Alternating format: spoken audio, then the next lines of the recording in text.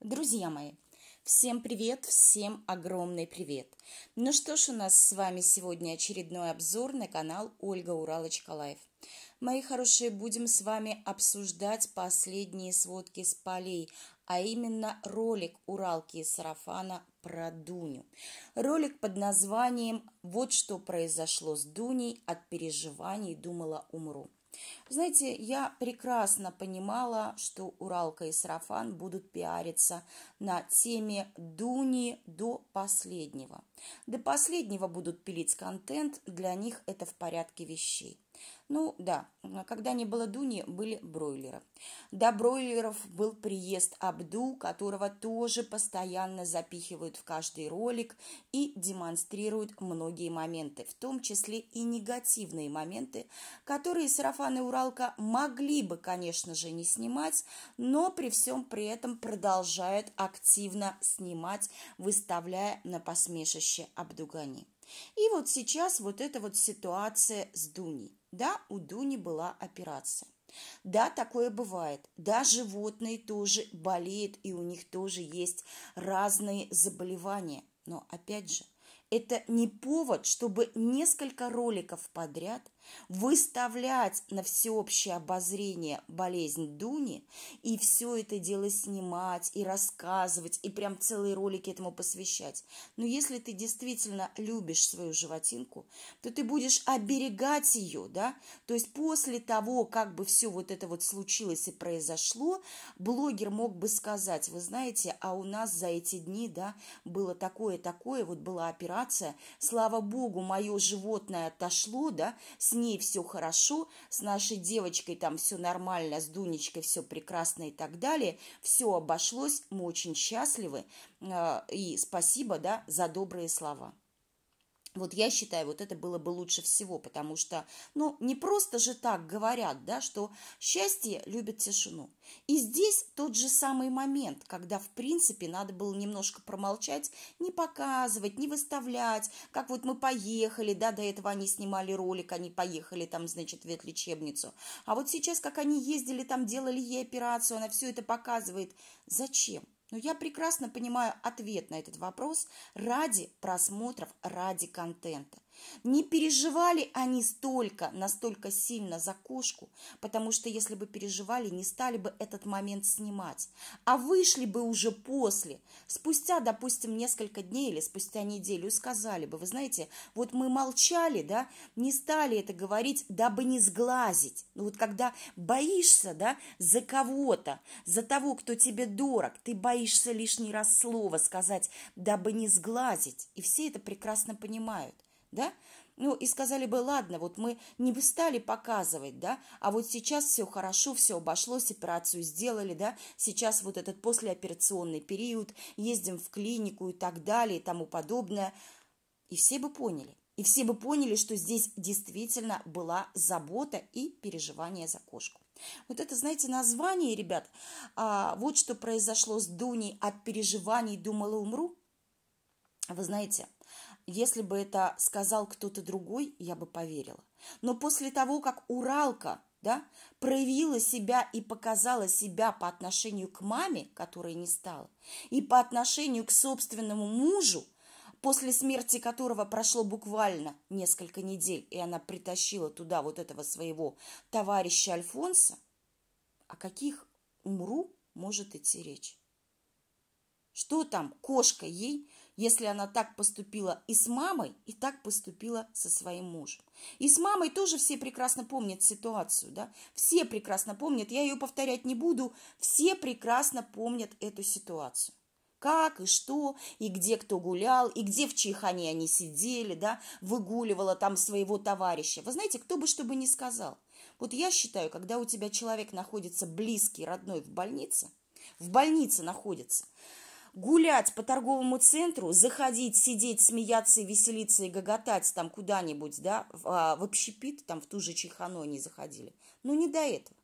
Да кусок в горло не полезет, вот так на минуточку, да? А уж про какие-то гулянки я вообще молчу. У нас так не принято. У наших людей, у нормальных, адекватных людей так не принято. Это как своего рода какое-то, знаете, глумление, да? близкий родной человек находится в тяжелом состоянии, а вот прям такая необходимость была бежать куда-то, веселиться и выгуливать своего товарища по торговым центрам, да сидеть в кафешках, смеяться и гоготать. Но не так себя ведут люди, у которых а, болеют близкие и которые за них переживают. Далее, друзья мои, Уралочка в начале своего ролика рассказывает о том, что это видео у нас снималось аж целых три дня. Да-да, говорит, мы тут и ездили в больницу, и, говорит, делали операции, и делали перевязки им там и так далее. Короче, снимают уже видосы по три дня. Скоро, наверное, будут по полгода видосы пилить. Далее говорит, вот, а, а, вот про переживания, да, про название я уже сказала, говорит, поехали, говорит, с Дуней к доктору. Ну и Уралочка показывает, как они с Дуней сидят в салоне автомобиля. Она, говорит, исследует машину, сидит с Дуней, да, да, она говорит, смотрите, говорит, Дуня всего так боится, опасается. И в этот момент, когда Уралка начинает говорить о том, что Дуня сидит всего опасается, в этот момент этот дурак, по-другому я его не назову, начинает сигналить и ржет, и говорит, а чё, чё, а чё, она боится, когда я сигналю? Хочется сказать, у тебя все дома вообще. Я, конечно, заранее знаю ответ на этот вопрос, но это ненормальная ситуация. Ребят, это опять же ненормальная ситуация. Да? То есть кошка и так боится, она, по сути, второй там раз в жизни, да, или там в третий едет на этой, на вашей машине, да, она и так боится, потому что понимает, что она уже была в этой клинике, да, она понимает прекрасно, что там все равно ей будет что-то делать больно, неприятно и так далее, да. И этот еще берет и сигналит, и прям ржут, гогочет, и им весело смотреть на реакцию кошки, которая боится ну, не так переживают. Вы знаете, вот не так переживают. Далее Уралочка начинает рассказывать про себя, что вот она-то была в больнице. На 8.15 у нее, значит, был талончик к хирургу. Да, друзья мои. Ну, говорит, управились очень быстро, а вот теперь, говорит, поехали вместе с Дуней. Ну, все знают прекрасно, что меня вчера не было ни на Ютубе, ни в Телеграм-канале. Я уезжала на целый день, вернулась поздно-поздно вечером а, я не видела. И думаю, что, конечно же, поход а, к врачу, к своему она не показывала. А, как я сказала, поликлинику она никогда не показывала. Один раз только постояла, потопталась да, а, за несколько метров от, от, от ворот поликлиники, от дверей поликлиники ну, как-то вот странным образом свою поликлинику она показать не может, ребята, да, свою почему-то не может. Я не говорю ни в коем случае не заходить в кабинет к врачу, на прием к врачу с камерой на перевес. Нет, я про другое. Но показать свою поликлинику можно, как ты заходишь туда, да, очередь, там сидят люди, еще что-то, что тут такого в этом? Нет ничего страшного. Другие блогеры показывают. Но почему-то, знаете, от и до показала всю ветклинику, всю лечебницу, да, даже на приеме у врача, у, у ветеринара, когда они были, они снимали этот момент. Так все очень просто. Просто получается, что на приеме у а, врача, у своего, да, у хирурга, она и не была. Раз она этого не показывает, значит, этого не было. Далее сидят и гогочут вдвоем. О, о, смотри, смотри, у нее, говорит, глаза по полтиннику-то, а не про Дуню, да? Ой, как она боится, смотри, смотри, и гогочут ну, я не знаю, у меня было другое состояние, когда а, мы стерилизовали, ездили на стерилизацию кошки. У меня было другое состояние, мы приехали, да, надо было еще предварительно сделать УЗИ, там тоже брали кровь, на кровь брали, не помню когда, может быть, даже заранее, за день до этого, не суть важно. Дело не в этом. Я помню свое состояние. Я сидела, блин, дрожала больше, чем она. Когда муж меня забирал, и нам сказали там, ну, подождите там около часа, да, сделают операцию, там, 40 или 45 минут. Я выходила из ветклиники, ребят, у меня, я ревела, я просто ревела, вся в слезах выходила. Он меня сидел в машине, успокаивал. И пока мы там куда-то просто ездили, а уже нам звонят и говорят, все, приезжайте, забирайте свою Джесси. И мы вот на таких вот ватных ногах ее забирали. Никто не ржал, никто не гоготал, даже близко не было. Было страшно. Страшно. Главное, чтобы отошла, чтобы все было хорошо, чтобы там вот за это боялся. А эти сидят в машине. Я так переживала за Дуню. Думала, помру, пишет Уралка. Уралка, ты знаешь, по тебе не скажешь. Вот честно говорю, да. Ты гоготала как ненормальная. Ну, то, что этот полудурочный твой, да, обкуренный, гогочет постоянно. Мы, собственно, к этому уже привыкли. Ну, гоготать, зная, что вы сейчас будете отдавать кошку на операцию, да, и ведь разные ситуации бывают. Это действительно, можно ведь и не отойти после наркоза. Разные бывают, и у людей бывают такие ситуации. И это же страшно. Ну, гоготать, а, смотри, как она боится, у нее глаза по полтиннику. Блядь, ты бы как себя вел, если бы тебе вот такое, не дай бог, предстояло, да? Даже не думают. А ты бы не боялся, Сарафан, ты вообще всего боишься. Воды, рыбы, глаз рыбы боится, да? Детских аттракционов боится, еще сказки рассказывает, я бы полетел, полетел, ага, полетел бы ты, конечно на, а, этим, на парашюте, друзья, с парашютом.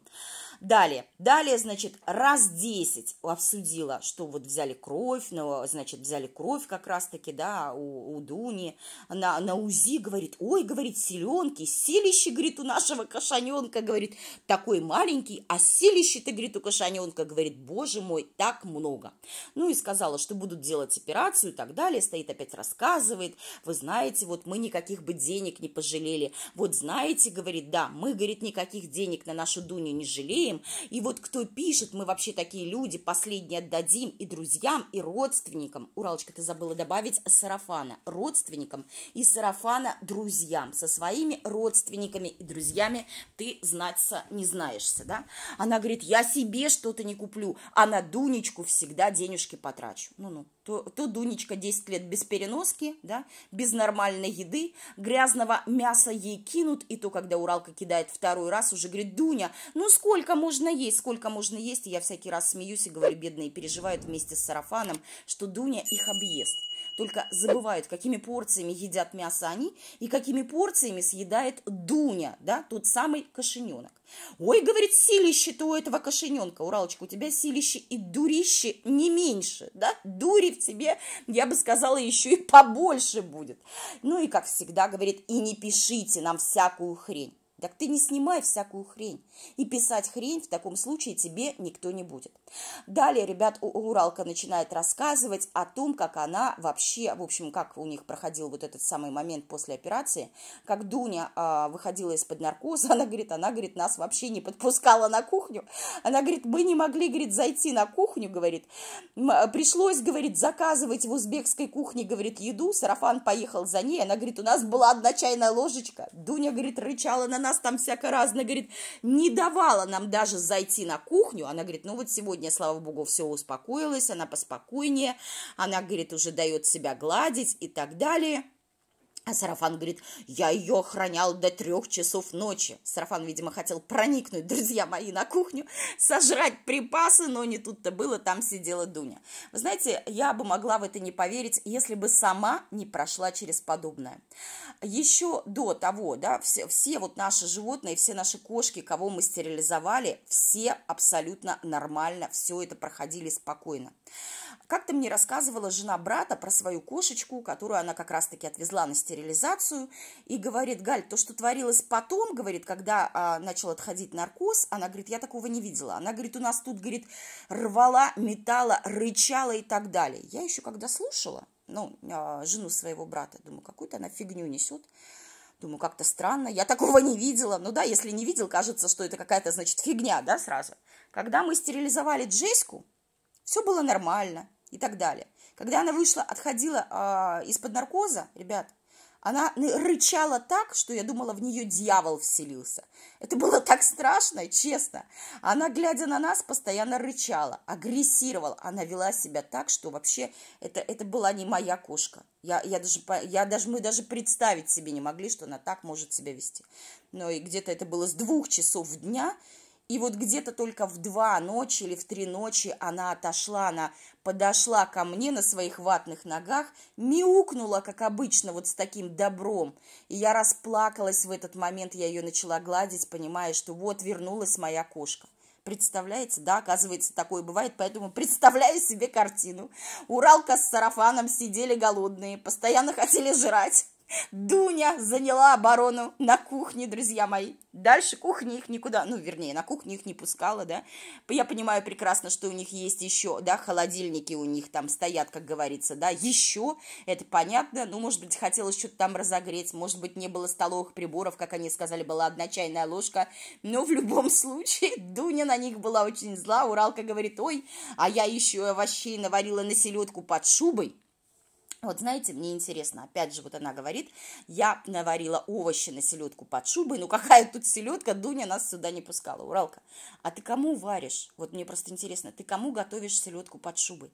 Тебе ее есть категорически нельзя, вообще нельзя. Я понимаю, если бы ты себе приготовила винегрет, да, опять же, ты говоришь, там сахар есть, сахара нет и так далее, ну винегрет себе, да, овощи, да, вот ты бы приготовила себе овощи. Ты говоришь о том, что сарафан практически не ест селедку под шубой. Ты же говорила, вот-вот, буквально на днях. Абду не ест. Ты зачем готовишь вот это все с майонезом, с картошкой, с селедкой? Для чего? Мне просто интересно. С какой целью? Ну, в общем, да, друзья мои. Все как обычно, готовим исключительно для себя. Я, говорит, последний отдам Дуне. Я помню прекрасно все эти моменты, когда отрезалась по маленькому кусочку, когда Дуня просила второй раз, да, ну что там ей раз дали, как говорится, да. Уже Уралка с сарафаном начинали за кадром, ну, Уралка в кадре, сарафан за кадром нервничать, что, мол, слишком много она ест. Ну, прям мясная, мясная, мясная, мясная. Да, бедная несчастная Дуня прям могла объесть сарафана с Уралкой, да. А Уралка, конечно же, конечно же, говорит, я последний отдам Дуне. Уралка, последняя, что мне просто интересно. Что именно ты а, имеешь в виду под последним? Короче, и любят, и обожают, и на руках кошку носят, да. Но, а, вы знаете, опять же хочется сказать, Уралочки, Уралочка, ты знаешь, вот трындеть ты любишь. Но порой забываешь, о чем ты говоришь, когда ты смеешься, что у тебя Абду стреляет из пистолета пульками, стреляет по Дуне, да, и вы гогочете, как ненормальные. Я бы этот пистолет взяла бы, выкинула бы и дала бы люлей ребенку, да, и объяснила бы, что вообще-то так к животным не относятся. Потому что, ну, это ненормально. Животных надо любить. Они зависят от нас. Целиком и полностью. Ребят, вот такой у меня получился обзор. Пишите, что вы думаете по этому поводу. Оставляйте свои комментарии. Всех целую, обнимаю. Всем пока-пока. И, конечно же, до новых встреч.